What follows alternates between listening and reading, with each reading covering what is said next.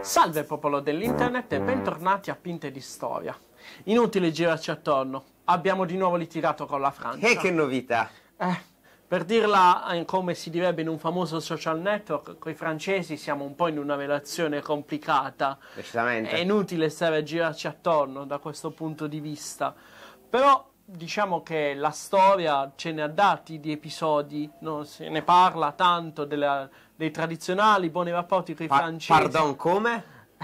Quali, quali tradizionali buoni rapporti? Eh, di boh. tradizionale, signori miei, ci sono soltanto questo tipo di episodi tra Italia e Francia: baruffe, liti, piccoli dispetti. Di tradizionale c'è solo questo, altro che buoni rapporti. Va bene, forse è il caso di discuterne un po', eh? Discutiamone. Salve. Vabbè, non la facciamo troppo lunga, riprendiamo il discorso da quando è nato lo Stato nazionale italiano. E Eh, effettivamente, se la prendiamo da, da Carlo VIII e dal Medioevo, Sì, è, è, un troppo, po' lunga. Troppo lungo. Tu che dici? Quindi, ma vi garantisco che gli ultimi 158 anni di rapporti Italia-Francia sono più che sufficienti. Ah, L'Italia è nata grazie a una vittoria francese, quella di Solferino nel 1859, quando il regno di Sardegna, Piemonte, era alleato della Francia, e ha completato il suo processo di unificazione nazionale nel 1870 con una sconfitta francese, quella di Sedan, che poi dette il via libera al Regno d'Italia per annettersi la capitale Roma.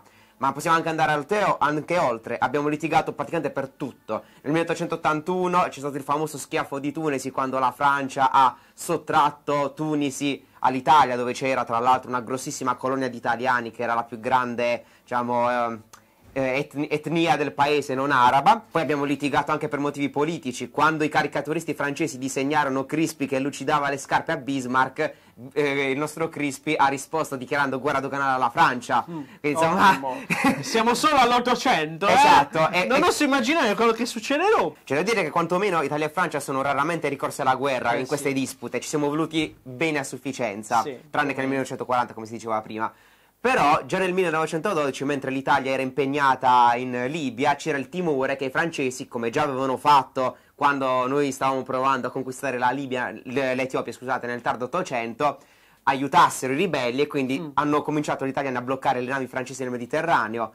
Nel tardo Novecento, quando per esempio la Fiat negli anni 60 acquisì grossa parte della Citroën, lì i francesi non la presero proprio benissimo e cercarono di far mollare l'osso ad Agnelli.